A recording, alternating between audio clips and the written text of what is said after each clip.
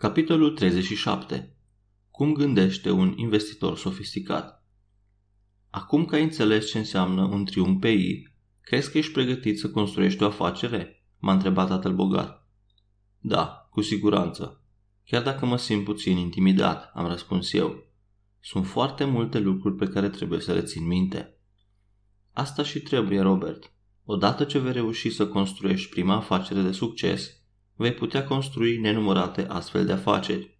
Vei ști de asemenea cum să analizezi alte afaceri din exterior înainte de a te decide dacă să investești sau nu în acele afaceri. Încă mi se pare o misiune imposibilă, am răspuns. Poate ți se pare imposibil pentru că tu vrei să construiești afaceri uriașe, a continuat tatăl bogat. Bineînțeles că asta vreau să fac, doar vreau să devin bogat, am răspuns eu cu hotărâre. Pentru a învăța să folosești elementele triunghiului PI, trebuie să începi cu o afacere mică. Chiar și o afacere care constă într-un stand cu hotdog sau o casă mică de închiriat are nevoie de propriul triunghi PI. Fiecare componentă a triunghiului PI se aplică până și cele mai mici afaceri. O să faci și greșeli, dar dacă înveți din acele greșeli, vei putea să construiești afaceri din ce în ce mai mari. De-a lungul acestui proces, o să devii un investitor sofisticat. Deci, învățând să construiesc o afacere, o să devin un investitor sofisticat, am întrebat. Doar de atât am nevoie.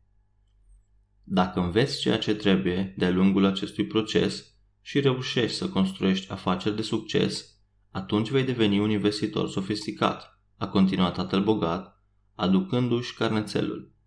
Primul milion de dolari e mai dificil de câștigat, după ce câștigi primul milion, următoarele 10 milioane le vei face foarte ușor. Să vorbim despre ceea ce are nevoie un om de afaceri sau un investitor de succes pentru a deveni un investitor sofisticat. Cine este un investitor sofisticat?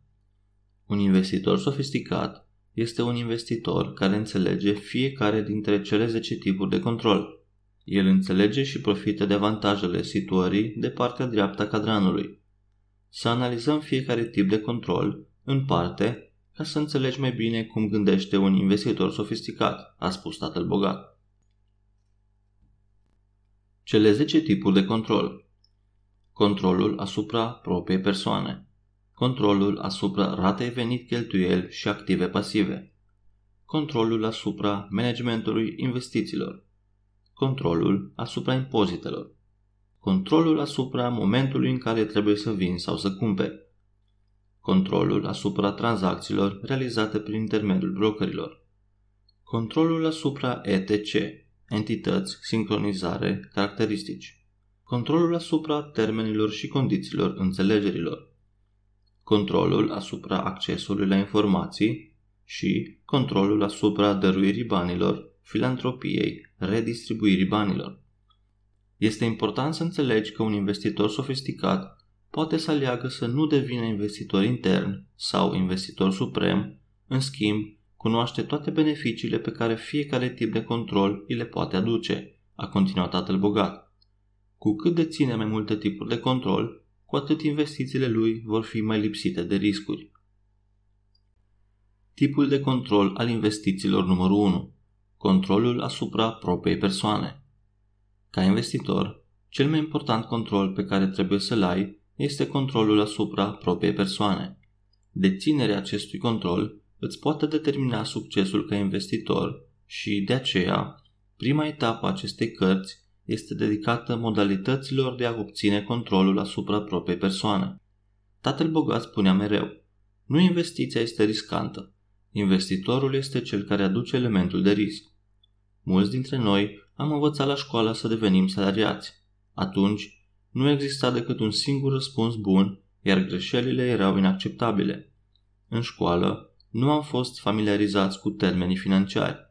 De aceea, este nevoie de foarte mult timp și de multă muncă pentru a-ți schimba modul de gândire și a te pregăti în domeniul financiar. Un investitor sofisticat știe că există mai multe răspunsuri corecte că înveți cel mai bine din greșelile pe care le faci și că, fără o bună pregătire în domeniul financiar, nu vei avea niciodată succes.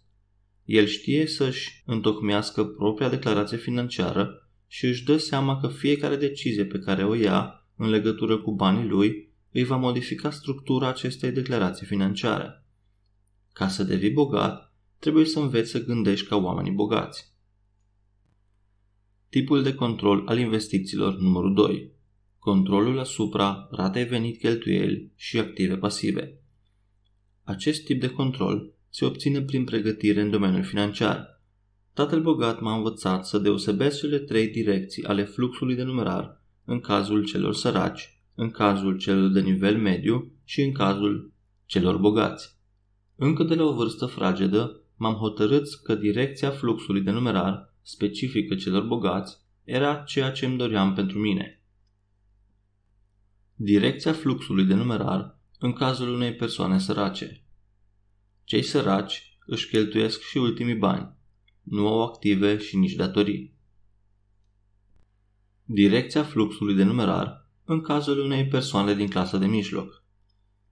Persoanele din clasa de mijloc acumulează mai multe datorii pe măsură ce încep să aibă succes. O mărire de salariu le ajută să obțină un împrumut mai mare de la bancă pe care îl cheltuiesc pe lucruri personale, cum ar fi o mașină mai mare, casă de vacanță, iahturi și rulote.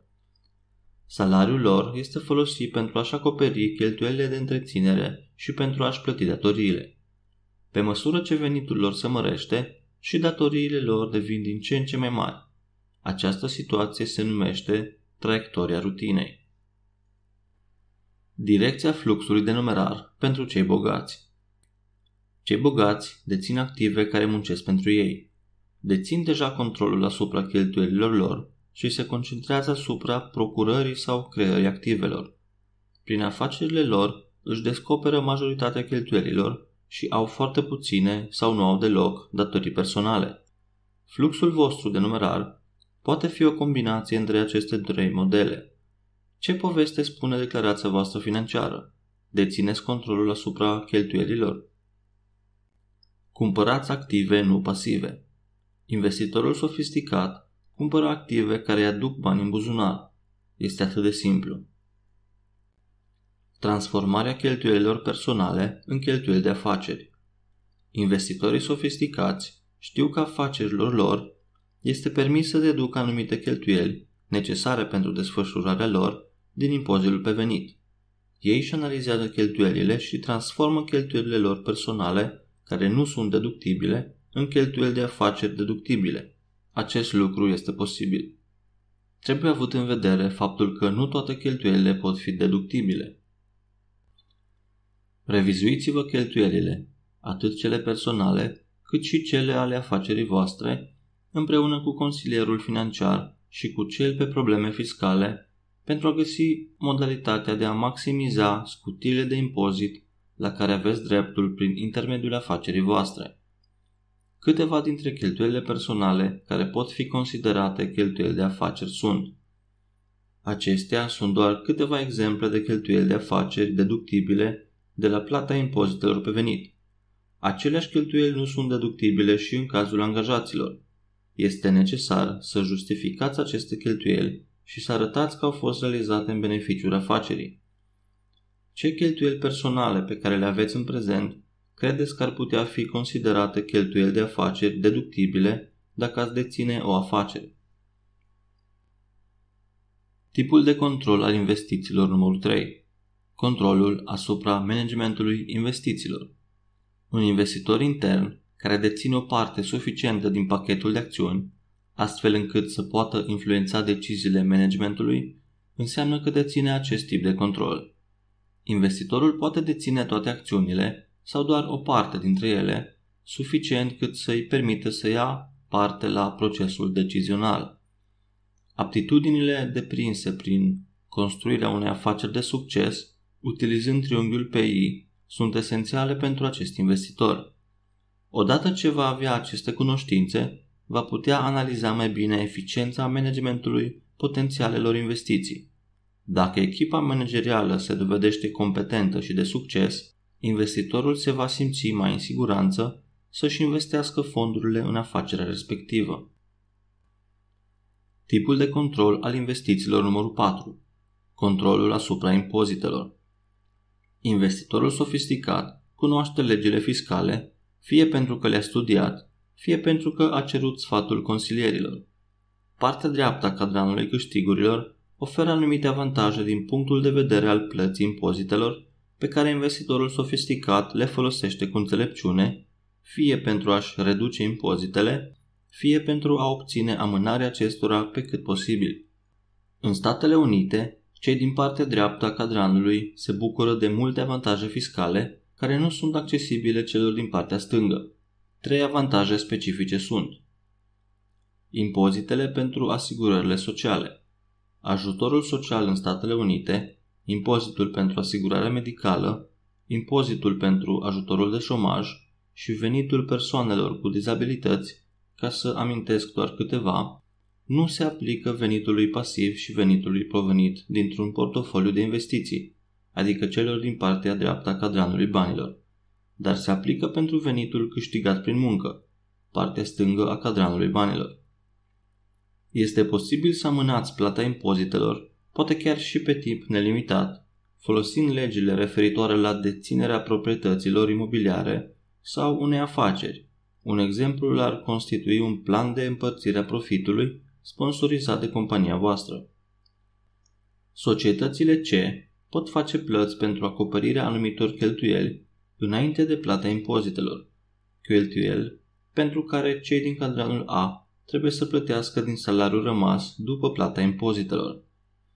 Investitorii sofisticați știu că fiecare țară, stat și provincie are diferite legi cu privire la impozite și sunt pregătiți să-și mute afacerile în regiunile care le oferă cele mai multe avantaje. Dându-și seama că plata impozitelor reprezintă cea mai mare parte a cheltuielilor celor din cadranele A și L, investitorii sofisticați încearcă să-și reducă veniturile, astfel încât venitul impozabil să se reducă și el, crescând în același timp fondurile pentru investiții. Analizați exemplul prezentat la tipul de control numărul 7. Tipul de control al investițiilor numărul 5. Controlul asupra momentului în care trebuie să vin sau să cumpere. Investitorul sofisticat știe cum să facă bani și atunci când bursa este în urcare și când este în scădere. Atunci când construiește o afacere, investitorul sofisticat are foarte multă răbdare. Eu numesc această răbdare mulțumire întârziată. Un investitor sofisticat înțelege că adevărata recompensă financiară apare atunci când investiția sau afacerea devine profitabilă și poate fi vândută sau făcută publică. Tipul de control al investițiilor numărul 6. Controlul asupra tranzacțiilor realizate prin intermediul brokerilor. Investitorul sofisticat, acționând ca un investitor intern, poate decide modul în care investiția sa va fi vândută sau va fi extinsă. Ca investitor în alte companii, din exterior, Investitorul sofisticat urmărește cu atenție evoluția investițiilor sale și cere brokerului să cumpere sau să vândă. Astăzi sunt mulți investitori care se bazează pe brokerii lor pentru a le spune când să cumpere și când să vândă. Acești investitori nu fac parte din categoria investitorilor sofisticați. Tipul de control al investițiilor numărul 7. Controlul asupra ETC, entități, sincronizare, caracteristici. În afară de controlul asupra propriei persoane, controlul asupra ETC este cel mai important, spunea tatăl bogat de multe ori. Pentru a deține controlul asupra entității, sincronizării și caracteristicilor venitului, trebuie să înțelegeți foarte bine legile cu privire la societăți, legile valorilor mobiliare și legea fiscală. Tatăl bogat înțelegea cu adevărat beneficiile pe care le avea dacă alegea entitatea potrivită pentru afacerea lui, sfârșitul de an contabil potrivit și dacă își transforma cât mai mult în venitul câștigat prin muncă în venit pasiv și venit obținut dintr-un portofoliu. Pe lângă acest lucru, faptul că știa să citească declarații financiare și să gândească în termenii declarațiilor financiare l-a ajutat pe tatăl bogat să-și ridice mult mai repede imperiul financiar. Pentru a demonstra importanța planificării ETC, vă prezentăm mai multe studii de caz cu privire la situația financiară a unui cuplu, James și Katie. Cazul numărul 1. James și Katie sunt proprietarii unui restaurant. Forma de organizare a restaurantului este de proprietate unică. James și Katie au doi copii. Venitul net obținut din administrarea restaurantului este de 60.000 de dolari. James și Katie au o singură declarație financiară. Cazul numărul 2. James și Katie cer ajutorul consilierului financiar și consilierului pe probleme fiscale pentru a-și structura afacerea astfel încât să-și maximizeze fluxul de numerar și să reducă pe cât posibil impozitele pe care trebuie să le plătească. James și Katie au două societăți. Una dintre ele deține restaurantul, iar cealaltă deține clădirea în care este amenajat restaurantul. James este managerul general al ambelor societăți. James și Katie au doi copii. James și Katie au trei declarații financiare care le influențează situația financiară. Cum i-au ajutat pe James și Katie sfaturile consilierului financiar și cele ale consilierului pe probleme fiscale? Prin realizarea unei structuri formate din două societăți. James și Katie pot transforma anumite cheltuieli personale în cheltuieli de afaceri legitime. De exemplu, cheltuielile cu asigurarea de sănătate, cheltuielile juridice și de contabilitate, taxele de școlarizare și deducerile fiscale pentru biroul de acasă și pentru utilizarea mașinii în interes de serviciu. Au reușit să reducă suma reprezentând totalul impozitelor cu 7885 de dolari. Au reușit să depună 12.000 de dolari într-un fond de pensii. Au reușit să facă ceea ce am amintit la punctele 2 și 3, chiar dacă și-au redus venitul personal la zero. Și-au protejat activele personale, atribuind operațiunile afacerilor celor două societăți, una deținută 100% de James și cealaltă deținută 100% de Katie. Să vedem cum a reușit să realizeze toate acestea. Să comparăm acum cazul numărul 1 cu cazul numărul 2. Rezultatul final al acestui plan financiar pentru James și Katie constă în faptul că acum dețin cu 7885 de dolari mai mult pentru că și-au redus impozitele cu această sumă.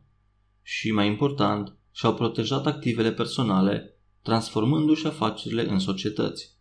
Deținând aceste societăți, activele lor personale ar trebui să fie în siguranță chiar și în cazul unei decizii judecătorești asupra uneia dintre societăți.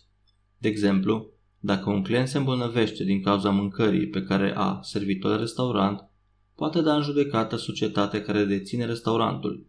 Orice pagubă stabilită prin hotărâre judecătorească împotriva societății care deține restaurantul va fi plătită din activele societății, iar societatea care deține clădirea și activele personale a lui James și Katie nu vor avea de suferit.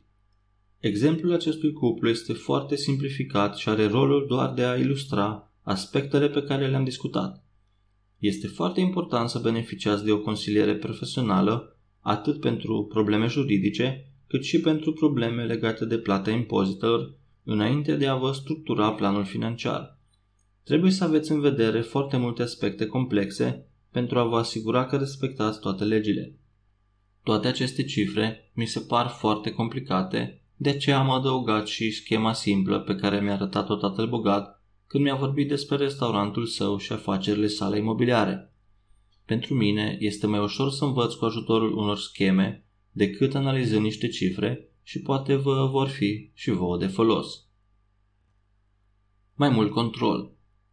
Tatăl bogat spunea, Odată ce ai învățat să gândești automat, când vine vorba despre declarațiile financiare, te poți ocupa de mai multe afaceri și, de asemenea, poți analiza diferite investiții mult mai ușor.